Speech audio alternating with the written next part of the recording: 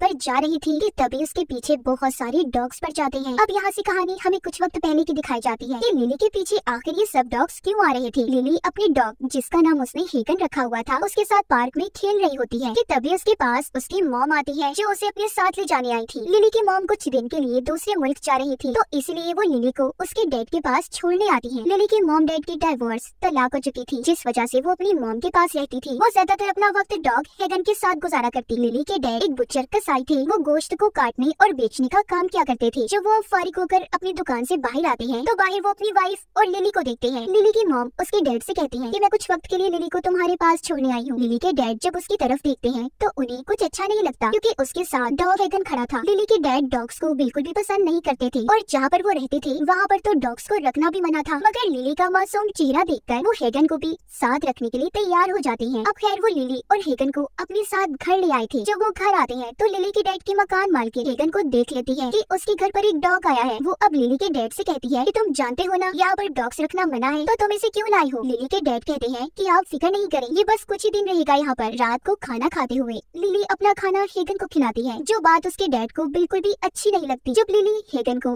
अपने साथ सुलाने का कहती है तो उसके डैड इस बात को भी साफ़ मना कर देते हैं। और उन्होंने हेगन को बाथरूम में बंद कर दिया था। बेचारा हेगन सारी रात बोलता रहता है, जिस वजह से ना ही लिली सो पाती है और ना ही उसके डैड इसीलिए वो अब उठकर उसे बाथरूम के पास जाती है, जहाँ पर उसके डैड ने हेगन को बंद किया हुआ था। वो बाहर खड़ी होकर म्यूज़िक बाजा बजाती है, जिसे सुनकर हेगन शांत सुकून में आ जाता है और सो गया था। अगली सुबह एक आदमी लिली के डैड के पास आता है, जो की पुलिस स्टेशन ऐसी आया था। वो लिली के डैड ऐसी कहता है की तुम्हारे पास एक अनरजिस्टर्ड डॉग है, तुम्हें उसका टैक्स भरना होगा। दरअसल हेगन के बारे में इसके मकान मालकिन ने पुलिस को बता दिया था। लिली के डैड बहुत छुपाने की कोशिश करते हैं। कहते हैं, अरे देखे, मेरे पास कोई डॉग नहीं है। मगर तभी हेगन बाथरूम से बाहर आ जाता है। ये सब कुछ लिली भी छुप कर देख रही थी। उसे डर था कि कहीं उसके डैड हेगन को पुलिस को न दे दे। ये सारी बातें सुनकर लिली को अब डर लग रहा था। इसलिए वो चोरी छुपी हेगन को अपने स्कूल ले जाती है और उसको अपनी म्यूज़िक क्लास के कमरे में छुपा देती है। अब जब क्लास होती है तो हेगन आवाजों को सुनकर बाहर आ गया था, जिस पर लिली के टीचर उसे बहुत डांटते हैं कि वो अपनी डॉग को बिना इजाज़त के स्कूल में क्यों लेकर आई। इसी बात पर लिली के टीचर ने उसे क्लास से बाहर निकाल दिया था। रास्ते में जब वो जा रही थी तो उसे उसके डैड मिलते हैं, क्योंकि टीचर ने उन्हें भी हेगन के बारे में कॉल करके बता दिया था। वो लिली पर बहुत नाराज़ थी और कहते हैं कि तुम इस डॉग को स्कूल क्यों लेकर गई लिली मैं अब और बर्दाश्त नहीं कर सकता। हम इसे शेल्टर एनिमल होम में छोड़ देंगे, जहाँ पर सभी जानवरों की देखभाल के लिए रखा जाता है। मगर लिली ऐसा करने के लिए तैयार नहीं थी। वो कभी भी हेगन को खुद से अलग करना नहीं चाहती थी और बार बार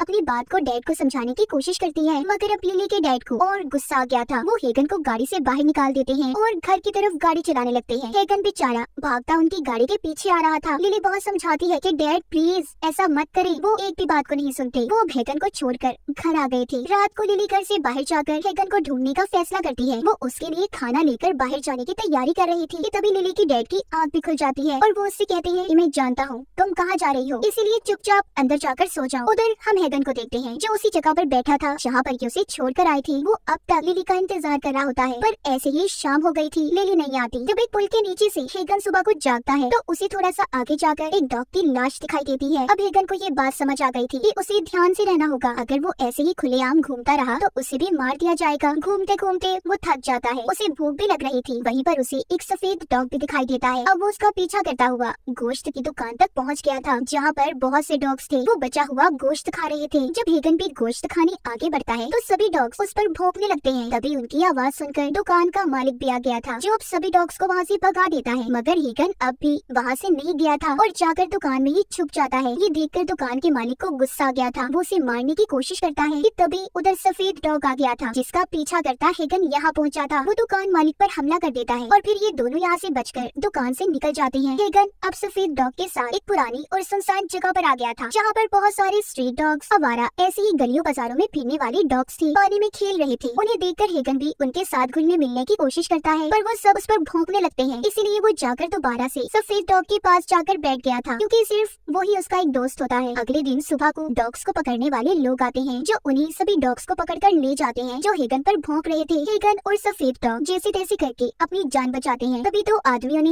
हेगन को देख लिया था, मगर उसे उन्हें देखकर ऐसा लग रहा था कि वो अच्छे लोग हैं, इसलिए हेगन उनके पास जाने की कोशिश करता है। मगर तभी सफ़ेद डॉग भोंकने लगा था, जिसे सुनकर हेगन समझ जाता है की वो उसे पकड़ना चाहते हैं, इसीलिए वो वहाँ से भाग जाता है। वो दोनों आदमी भी उनका पीछा कर रहे थे। इसी दौरान हेगन और सफ़ेद डॉग भागते भागते अलग हो गए थे। हेगन अब छुपने की भी कोशिश करता है कि तभी लिली की डॉग हेगन को एक सड़क पर बैठा हुआ बूढ़ा आदमी छुपा लेता है। उधर लिली के डैड उसे स्कूल छोड़ने जाते हैं और लिली से कहते हैं कि तुम्हें अपने म्यूज़िक टीचर से माफ़ी मांगनी होगी। लिली ऊपर ऊपर से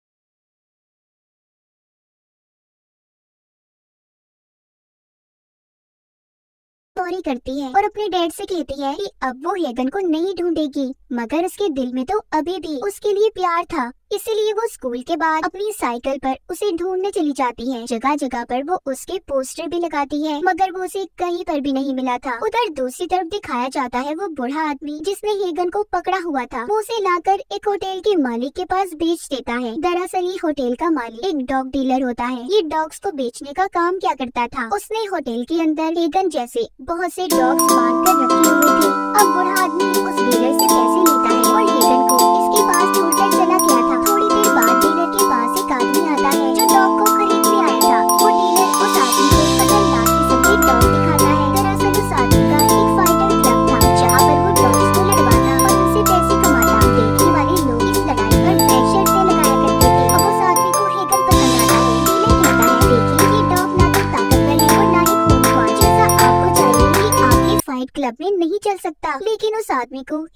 चाहिए था। वो उस डीलर को पैसे देता है और हेगन को बेहोशी की दवा खिलाकर उसे अपने साथ घर ले आया था। वो उसे तरह तरह के प्रोटीन खिलाता है, जिससे उसे ताकत मिलेगी और साथ ही उसे बहुत मारता भी है, ताकि वो एक खून ख्वार डॉग बन सके और उसके फाइट क्लब में लड़ने के काबिल बन जाए। कुछ दिनों की ट्रेनिंग के बाद हेगन एक खून ख्वार डॉग बन गया था। उसके दांत भी नुकीले हो जाते हैं। हेगन लड़ने के लिए तैयार था। इसी बीच हम लिली को देखते हैं, जो अब तक हेगन अपने डॉग को ढूंढ रही थी। वो एक लेडी के पास भी जाती है, जो एनिमल शेल्टर चलाया करती थी। जब वो हेगन के बारे में पूछती है तो लेडी बताती है, नहीं, वो मेरे पास तो नहीं आया। पर हाँ ऐसे रोड्स पर घूमने वाले डॉग्स को या तो पकड़ लिया जाता है, या फिर मार दिया जाता है। तुम्हारा डॉग अब तक मर चुका होगा। अब जब लिली लेडी से बातें कर रही थी कि तभी कोई उसकी साइकिल चुरा कर भाग जाता है। अब उसे पैदल ही अपने घर जाना था। उधर हेगन को दिखाया जाता है, जिसको लड़ाई के लिए तैयार करके फाइट क्लब में लाया गया था। यहाँ पर दो डॉग्स को तब तक लड़वाया जाता था। जब तक दोनों में से एक ज़िंदा न बचे, ज़िंदा रहने वाले डॉग को विनर माना जाता था।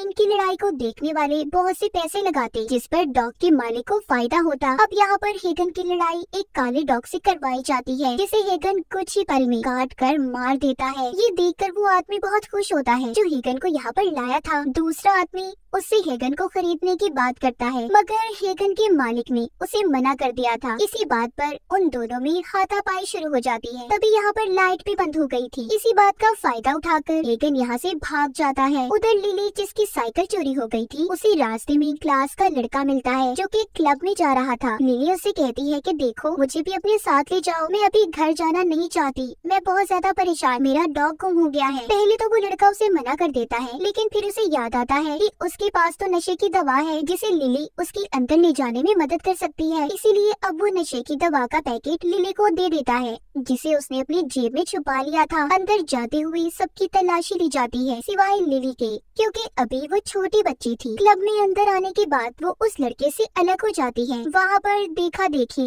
लिली ड्रिंक भी करने लगी थी, जिससे वो बेहोश हो गई थी। जब सुबह होती है तो पुलिस उसे पकड़कर अपने साथ ले जाती है, क्योंकि उसकी जेब से नशे की दवा मिली थी। लिली को पुलिस स्टेशन लाकर उसका नशे का टेस्ट भी किया जाता है, जो कि नेगेटिव आया था। थोड़ी देर में उसके डैड भी वहाँ पर आ जाते हैं, जो लिली को देखकर रो रहे थे। वो उससे कहते हैं कि कल रात मैं तो डरी गया था। मुझे लगा कि मैंने तुम्हें खो दिया। मुझे माफ़ कर दो। मैंने तुमसे हेगन को दूर किया। तुम डॉग को रख सकती हो। चलो, हम कोई और डॉग ले लेते हैं। लिली कहती है, नहीं, डैड, मुझे अब कोई और डॉग नहीं चाहिए। और हँसी खुशी वो अपने डैड के साथ घर चली जाती है। उधर हेगन को दिखाया जाता है, जो फाइट क्लब से निकलकर उसी छोटे तालाब के पास आ जाता है, जहाँ पर उसे अपना दोस्त सफ़ेद डॉग मिलता है। जब ये दोनों मिलकर खाने को ढूंढ रहे थे, कि तभी उधर डॉग्स को पकड़ने की टीम आ जाती है, जो अब इन्हें भी पकड़कर एनिमल शेल्टर में ले गई थी, जहाँ पर सभी डॉग्स को रखा जाता था। वहाँ पर जब लोग डॉग्स को देखने आते हैं तो एक लड़की को हेगन पसंद आ गया था। जब वो उसे खरीदने ही लगती है कि तभी वो उस पर टूट पड़ता है। उसने उस पर हमला कर दिया था। ये देखकर हेगन को शेल्टर की मालकिन सभी डॉग से अलग कर देती है। उधर लिली को दिखाया जाता है, जिसके स्कूल में आज कॉन्सर्ट था, जिसमें लिली ने भी हिस्सा लिया था। उसके डैड भी उधर आए थे। शेल्टर होम में हेगन को जब वर्कर दूसरे पिंजरे में बंद करने जा रहा था तो हेगन उसके हाथ से छूट जाता है। उसका पटा भी खुल गया था। हेगन उस वर्कर के गले पर हमला करके उसे काट लेता है, जिससे वो वर्कर वहीं पर मर गया था। फिर हेगन सभी पिंजरों को खोल देता है। बाहरी डॉग्स आज़ाद हो गए थे।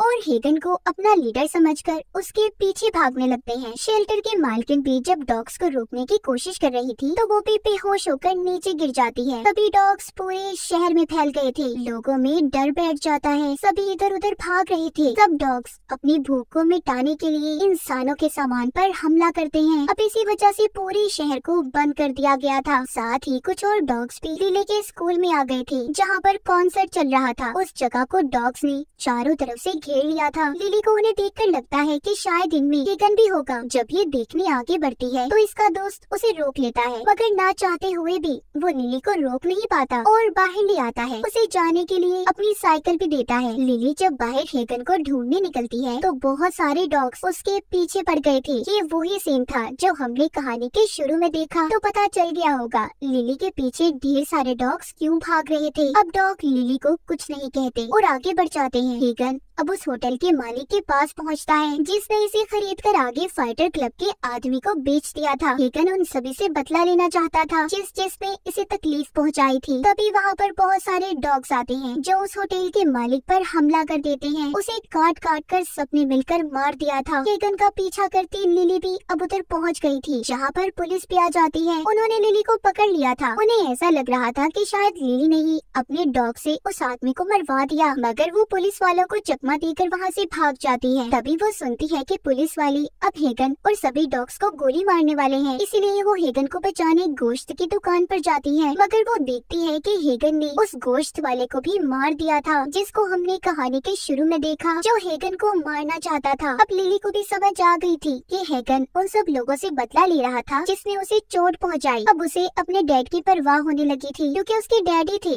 जिन्होंने हेगन को दिल्ली से दूर किया था। वो फ़ौरन से अपने डैड को फ़ोन कर करती है और सारी बात बताती है, क्योंकि उन्होंने भी हेगन को चोट पहुंचाई थी। अब हेगन उस आदमी के पास पहुँच जाता है, जिसने इसे फाइटर क्लब में लड़वाया था। इस पर बहुत जुल्म करके इसे खून खुआर डॉग बना दिया। हेगन अपने सभी साथियों से कहकर उस आदमी को भी बेरहमी से मरवा देता है, जिसके बाद ये वहाँ से भागते हैं। तभी डॉग्स को पुलिस अब गोलियाँ मारकर मार रही थी। उधर लिली को हेगन का दोस्त सफ़ेद डॉग भी मिल जाता है, जो उसे हेगन का रास्ता बताता है। लिली उसके पीछे पीछे थी, तभी सफ़ेद डॉग को भी पुलिस रास्ते में ही गोली मार देती है। लिली बहुत उन्हें रोकती है। प्लीज़, ऐसा मत करें। मगर वो उसकी एक नहीं सुनती। उन्होंने सफ़ेद डॉग को भी मार दिया था। लिली घर वापस आ गई थी। जब वो मकान मालकिन को मरा हुआ देखती है तो समझ जाती है कि इसे भी हैगन नहीं मारा होगा। वो टेंशन में थी। उसे लगता है कि अब हैगन का अगला शिकार उसकी डैड होंगी। लिली अब अपने डैड को ढूँढने निकल जाती है। उधर उसके डैड भी डॉग्स का मुकाबला करने के लिए कुछ हथियार ढूंढ रहे थे। इसी बीच गली में बहुत सारे डॉग्स ने आकर लिली को घेर लिया था। वो हेगन से बात करने की कोशिश करती है, मगर वो तो उस पर भूख रहा था। अब हेगन लिली को भी अपना दोस्त नहीं समझता था, क्योंकि उसने उसके भरोसे को तोड़ा, उसे अकेला छोड़ दिया। हेगन लिली पर हमला करने ही वाला था। कि तभी उधर लिली के डैड एक फायर गन को लेकर आते हैं, जिसमें से बहुत तेज आग निकल रही थी। वो उन डॉग्स को आग से डराकर भगाना चाहते थे, मगर वो तो उससे डरते नहीं, बल्कि और ज़्यादा गुस्से में आ गए थे और भौंकने लगते हैं। ये देखकर लिली हैगन को शांत करने के लिए अपना बाजा बजाती है, जिसको वो अक्सर उसे सुनाया करती थी। उसकी आवाज़ सुनकर सभी डॉग्स नीचे बैठ गई थी। लिली के डैड भी समझ गए थे कि अब सब महफूज हैं। लिली भी उन डॉग्स की तरह नीचे बैठ जाती है। हेगन और लिली दोनों एक दूसरे को देख रहे थे। ये कहानी देखकर हमें ये पता चलता है कि डॉग्स के इमोशन फीलिंग्स एहसास अगर किसी इंसान से जुड़ जाए तो वो उसे अपनी पूरी वफादारी से निभाते हैं, क्योंकि डॉग एक वफादार जानवर है। तो ये थी हेगन की कहानी, जिसको आखिर में इतनी मुसीबतों के बाद लिली का प्यार मिल ही गया। और इसी के साथ इस फ़िल्म की कहानी भी यहीं पर खत्म हो जाती है।